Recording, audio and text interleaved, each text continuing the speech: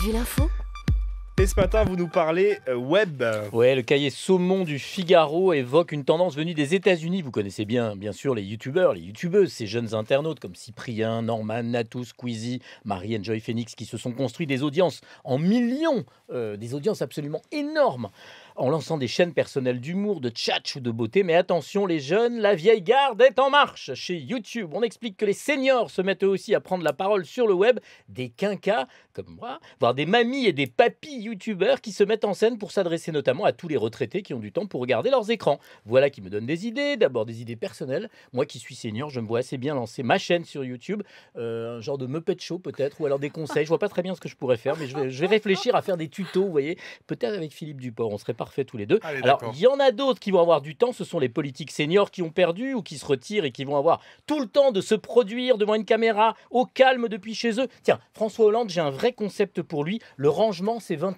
c'est maintenant. Les vidéos d'un président qui, à la retraite qui range chez lui, cartons. dans ses cartons, ça pourrait être très très bien.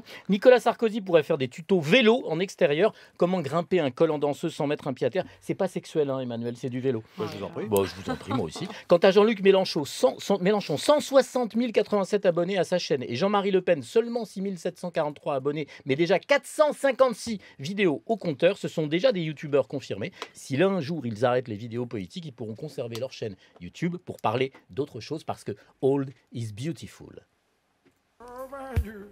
Trois vieux papis, tout sur un très vieux banc, tout moussu parlait Ça me parle, moi. Ouais, alors pluie. j'allais dire, Alexis Moret, ça lui parle pas du tout. Richard Wattener Mais si, il est bon, Alex. Il est très bon. C'est pas Les vraiment de ma papis. génération. Les certes. vieux papis, c'est nous. Votre dicton du jour, Guy. À la Saint-Guillaume, ils feront des vidéos, les politiques qui paument. Merci, Guy Birenbaum, à demain.